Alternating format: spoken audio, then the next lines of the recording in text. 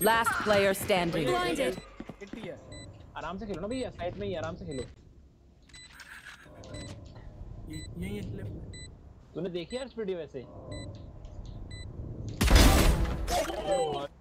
चलो। तूने वीडियो देखी है वो?